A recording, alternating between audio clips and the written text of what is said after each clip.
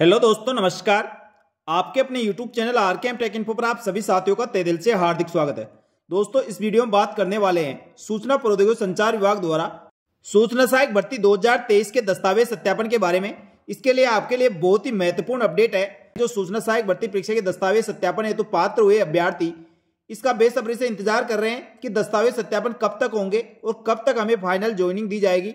इन सब के बारे में दोस्तों, इस वीडियो में चर्चा करने वाले हैं। और आपके लिए बहुत ही महत्वपूर्ण अपडेट है, वो इस प्रकार है। सूचना प्रौद्योगिकी संचार विभाग द्वारा अपने अधिकारी कर्मचारी को जो सूचना सहायक भर्ती परीक्षा के दस्तावेज़ सत्यापन करने वाले हैं, उनका प्रथम चरण का प्रशिक्षण 26 सितंबर को करवाया जा चुका है और उसके बाद अब अंतिम और फाइनल प्रशिक्षण 8 नवंबर को करवाया जाना है। इसके बाद दोस्तों आपके दस्तावेज़ सत्यापन के लिए टाइम शेड्यूल जारी किया जाएगा। इसके लिए दोस्तों आप बार बार अपडेट चाह रहे थे कि सर हमें यह बता दीजिए दस्तावेज़ सत्यापन कब होंगे तो साथियों, अब आपके लिए कुछ खुशखबरी है और इसके लिए मैंने दोस्तों आपको अपडेट भी कर दिया था टेक्स्ट मैसेज के द्वारा टेलीग्राम और व्हाट्सएप चैनल के ऊपर। साथ ही सूचना प्रौद्योगिकी संचार विभाग द्वारा सूचना सहायक भर्ती परीक्षा के अभ्यर्थियों के दस्तावेज़ सत्यापन व पात्रता की जाँच करना है। उनके लिए अधिकारी कर्मचारी की ड्यूटी लगाई गई है, वो इस प्रकार है। इसके अंदर राजस्थान कर्मचारी चयन बोर्ड द्वारा सूचना सहायक भर्ती परीक्षा 2023 के अभ्यर्थियों की पात्रता की जाँच और मूल दस्तावेजों का सत्यापन करवाया जाना है। और ये दस्तावेज़ सत्यापन आपका सूचना प्रौद्योगिकी संचार विभाग के मुख्यालय यानी जयपुर आपका करवाया जाएगा। सभी अभ्यर्थियों को जयपुर ही आना होगा जो सूचना प्रौद्योगिकी संचार विभाग का मुख्यालय है। सूचना प्रौद्योगिकी संचार विभाग का योजना भवन में ऑफ़िस है वहीं पे आपके सभी अभ्यर्थियों के दस्तावेज़ सत्यापन होने हैं। तो इन अधिकारी कर्मचारियों को निर्देशित किया गया है कि, कि सूचना सहायक भर्ती परीक्षा 2023 के अभ्यर्थियों के दस्तावेज़ सत्यापन के लिए इनके द्वितीय चरण का प्रशिक्षण 8 ग्यारह 2024 को विभाग के मुख्यालय पर 11 बजे से आयोजित करवाया जाएगा। जिन अधिकारी कर्मचारियों की ड्यूटी लगाई गई है, उनकी लिस्ट इस प्रकार है।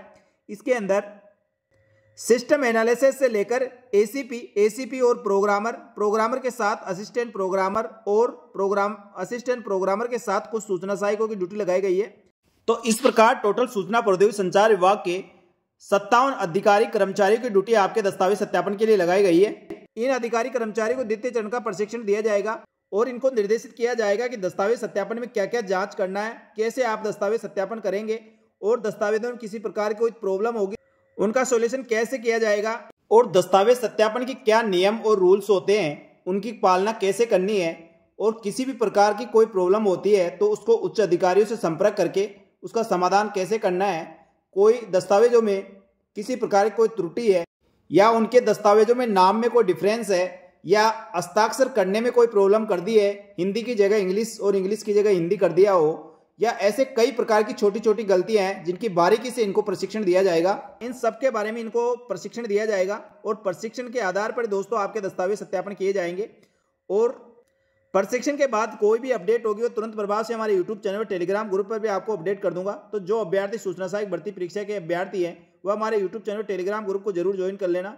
आपको सूचना सहायक भर्ती परीक्षा की पल पल की अपडेट हमारे यूट्यूब चैनल टेलीग्राम ग्रुप पर मिलती रहेगी। इस प्रकार दोस्तों, सूचना प्रौद्योगिकी संचार विभाग द्वारा अब आपके दस्तावेज़ सत्यापन इसी मंथ से शुरू हो रहे हैं, यानी आपके दस्तावेज़ सत्यापन लगभग 20 तारीख से शुरू होने वाले हैं, जिसका ऑर्डर आपका 10 तारीख बाद कभी भी जारी किया जा सकता है। तो अब तक जो अभ्यर्थी पूछ रहे थे, उनके सवालों का जवाब मिल गया होगा। बहुत से अभ्यर्थी इसका बस बेसब्री से इंतज़ार कर रहे हैं। सर, हमारे सूचना सहायक भर्ती परीक्षा के दस्तावेज़ सत्यापन कब होंगे?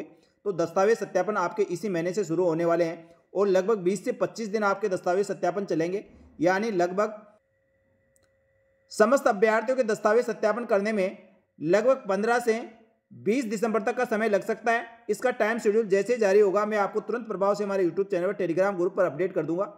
तो साथियों, इसके लिए मैंने आपको बार बार अपडेट किया हूँ, आपके दस्तावेज़ तैयार करके रखें और किसी प्रकार के दस्तावेजों में कोई भी प्रॉब्लम हो तो उसका एफिडेविट बना के रखें। आपके स्क्रूटनी फोरम या ऑनलाइन एप्लीकेशन फोरम में किसी प्रकार की कोई भी त्रुटि रह गई है, उसके लिए आप पहले से एफिडेविट बनाकर लेके आए, जिससे आपको यहाँ पर किसी प्रकार की कोई दिक्कत नहीं होगी। इसके बाद अभ्यर्थी पूछ रहे थे, सर, फाइनल ज्वाइनिंग कब तक दी जाएगी? फाइनल ज्वाइनिंग में दोस्तों, मैं आपको बता दूँ, दस्तावेज़ शुरू होने से लेकर जब ज्वाइनिंग तक कम से कम आपको ढाई से तीन महीने लग सकते हैं। अभी इसमें बहुत टाइम लगेगा। क्योंकि इतना आसान नहीं होता कि आपके दस्तावेज़ सत्यापन करवाया जाए और तुरंत इसकी ज्वाइनिंग दे दी जाए। दस्तावेज़ सत्यापन में भी किसी प्रकार की कोई भी मिस्टेक होती है उसके लिए भी नोटिस दिया जाता है और उनके नोटिस पीरियड के अंदर उन अभ्यर्थियों को, जो भी उनके दस्तावेजों में कमी रहती है, उसकी पूर्ति भी करवानी होती है। उसके बाद सूचना सहायक भर्ती परीक्षा के संबंध में कोर्ट मैटर भी चल रहे हैं, उनका भी निस्तारण करना है। इसलिए ढाई से तीन महीने का समय अभी भी लग सकता है, यानी दिसंबर लास्ट से पहले तो आपको किसी प्रकार की ज्वाइनिंग देने की कोई संभावना नहीं है। हो सकता है आपकी ज्वाइनिंग जनवरी माह में मिले तो इसके लिए आपको काफ़ी इंतज़ार करना पड़ेगा। और जिन अभ्यर्थियों का सलेक्शन यदि संगणक और जूनियर अकाउंटेंट भर्ती के अंदर हो रहा है तो उन अभ्यर्थियों को दोस्तों इन भर्तियों के अंदर सिलेक्शन लेना चाहिए। क्योंकि दोस्तों सूचना सहायक और जूनियर अकाउंटेंट में यदि आप सिलेक्शन लेते हैं और ज्वाइनिंग कर लेते हैं तो आपका सूचना सहायक से पहले वहाँ पे प्रमोशन हो जाएँगे। और प्रमोशन के साथ ही कई तरह के फ़ायदे और भी है। यदि सूचना सहायक भर्ती में ज्वाइनिंग से पहले आपको संगणक और जूनियर अकाउंटेंट की ज्वाइनिंग मिल रही है तो इन अभ्यर्थियों का सिलेक्शन संगणक व जूनियर अकाउंटेंट भर्ती के अंदर हो रहा है तो उन अभ्यर्थियों को वहीं पे ज्वाइन करना चाहिए। ये मेरा सजेशन है। फिर आपकी चॉइस है, आप जहाँ भी करें, आपकी इच्छा है। इस प्रकार दोस्तों, सूचना सहायक भर्ती परीक्षा के दस्तावेज़ सत्यापन आपके बहुत जल्दी प्रारंभ होने वाले हैं। तो दस्तावेज़ सत्यापन से पहले जैसे जैसे मैंने आपको बताए थे कौन कौन से दस्तावेज़ तैयार करके रखने हैं और कोई दस्तावेजों में किसी प्रकार की कोई प्रॉब्लम है तो उसको लिए क्या करना है? इन सब के बारे में दोस्तों मैंने कई बार वीडियो बनाकर आपको बताया है। तो उनको आप देखें और उसके अनुसार आप दस्तावेज़ सत्यापन करवाओगे तो आपको किसी प्रकार की कोई दिक्कत नहीं होने वाली है। साथ ही इसी प्रकार सूचना सहायक के साथ ही समस्त भर्तियों की नवीनतम ताज़ा अपडेट के लिए हमारे यूट्यूब चैनल पर Telegram group R K tech info को ज्वाइन कर सकते हैं। आपको यहाँ पर समस्त भर्तियों की नवीनतम ताज़ा अपडेट तुरंत प्रभाव से मिलती रहेगी। धन्यवाद। जय हिंद। जय भारत।